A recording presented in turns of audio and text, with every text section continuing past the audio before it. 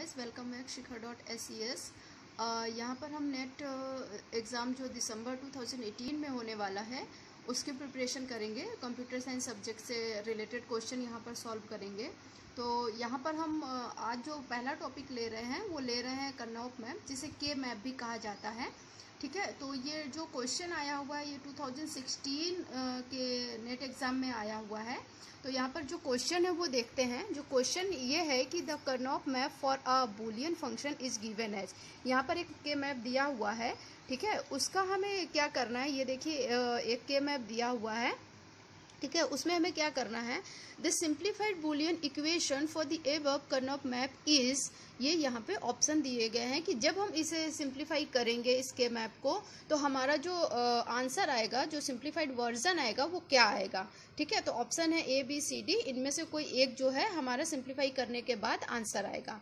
Okay तो इसे simplify करना देखिए सबसे पहले क्या करते हैं हम इसे यहीं पे सॉल्व कर लेते हैं। इसे करते क्या है कि जो भी हमारी ये दी हुई होती है के मैप उसमें पेयर करने की कोशिश करते हैं कि सबसे पहले अगर ये सिक्सटीन का है मतलब कि इसमें सिक्सटीन स्क्वायर्स हैं, देखिए one two three four five six seven eight nine ten eleven twelve thirteen fourteen fifteen sixteen sixteen है तो कोशिश करेंगे कि हम यहाँ पे एट का पेयर बनाने की कोशिश करेंगे। अगर एट के पेयर नहीं बन रहे हैं तो फोर के फोर के नहीं बन रहे हैं देन टू के।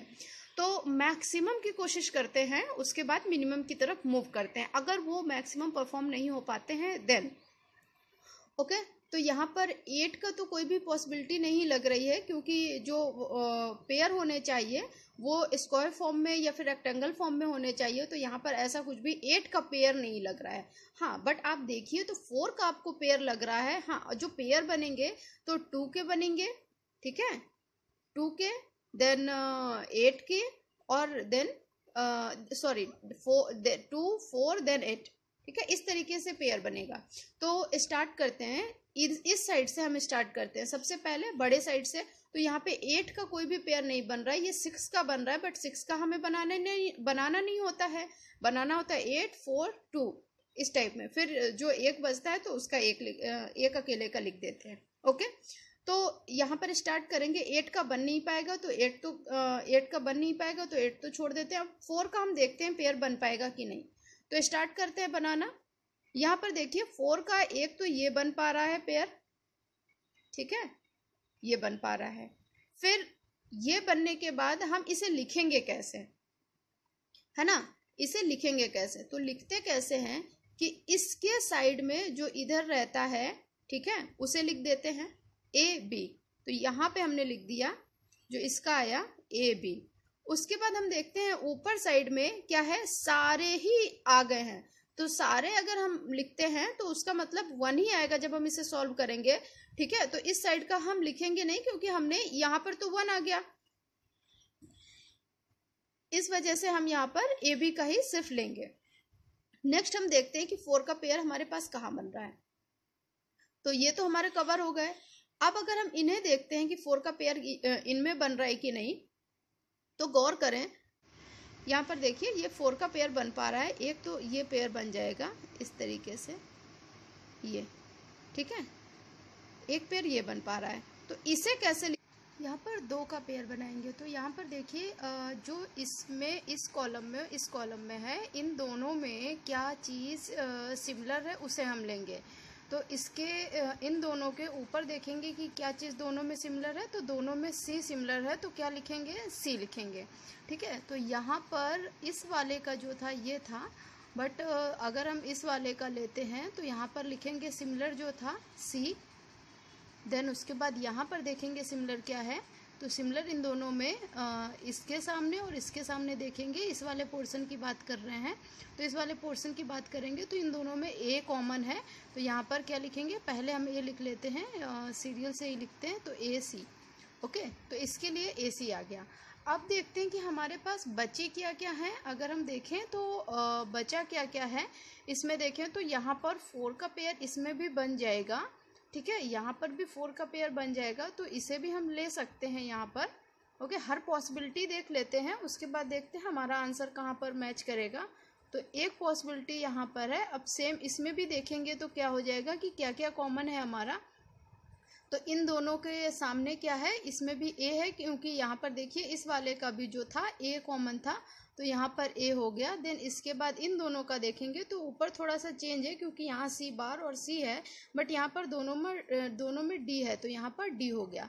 ठीक है, अभी इतनी चीज़ हो गई हमारे पास। अब जो थर्ड बचता है, वो हमारे पास ये सिर्फ़ एक बच रहा है, ठीक है? अभी तक हमारे पास तीन पे जो बने हैं, वो देखिए, एक तो ये फोर का बना है, फिर देन ये फोर का और एक ये फोर का।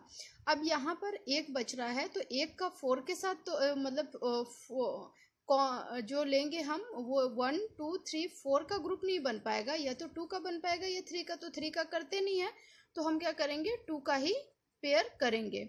ठीक है? तो यहाँ पर देखेंगे कि यहाँ पर क्या कॉमन मिल रहा है तो यहाँ ए बार है, यहाँ पर ए है तो दोनों में कॉमन क्या है? बी है। तो इसके लिए जो हम लेंगे, इसके लिए हम यहाँ पर लिख लेते हैं कि यहाँ पर हमारे पास बी कॉमन आया। देन ऊपर देखते हैं कि कुछ कॉमन नहीं होगा बट सी डी आ रहा है तो यहाँ पर सी डी लिखेंगे। अब हम आंसर में देख लेते हैं जो हमारा इनमें से कुछ कॉमन आ रहा है कि नहीं, किसी में मैच कर रहा है कि नहीं। तो देखते हैं ए बी ए बी आप देख रहे हैं कि सारे ऑप्शन में ए बी है दैट मीन्स कि अभी और हमें चेक करना है देन उसके बाद ए बी हो गया, ठीक है? ए बी टिक करते हैं देन उसके बाद हम देख रहे हैं कि ए बी के बाद जो है ए सी या ए डी किसमें है? तो ए सी और ए डी इसमें भी है और बी सी डी आप देखिए बी सी डी भी तो इसमें आ रहा है। तो जो बी ऑप्शन है, वो हमारा करेक्ट ऑप्शन है। ठीक है? तो इस तरीके से हम इसे सॉल्व करेंगे कि सबसे पहले हम बड़े जो हैं, उनको देखेंगे कि अगर इसमें पॉसिबिलिटी सिक्सटीन की है तो सिक्सटीन का दैट मीन्स कि आंसर वन आएगा हमारा। ठीक है? अगर यहाँ पर एट का पेयर बन रहा है देन एट का हम देखेंगे। देन उसके बाद हम क्या करेंगे? फोर का देन टू का देखेंगे। देन लास्ट में अगर किसी से पेयर नहीं बन रहा तो वन का लिखेंगे ठीक है? तो सबसे पहले हम बड़े की साइड देखते हैं कि हम sixteen then four then eight sorry eight four then two और लास्ट में अगर हमारा कोई बचता है तो उसका वन ही लेंगे ठीक है? तो ये uh, बहुत ही सिंपल है के मैप और ईजली हम टू मार्क्स गेन कर सकते हैं और ये हर एग्ज़ाम में आता ही आता है। अगर कंप्यूटर साइंस का कोई भी एग्ज़ाम है तो उसमें के मैप आता ही आता है तो ईजली हम टू मार्क्स गेन कर सकते हैं ओके आई होप कि ये आपको अच्छे से समझ में आया होगा। अगर इससे रिलेटेड कोई भी क्वेरी है तो आप प्लीज़ कमेंट बॉक्स में कमेंट करिए। Thank you for watching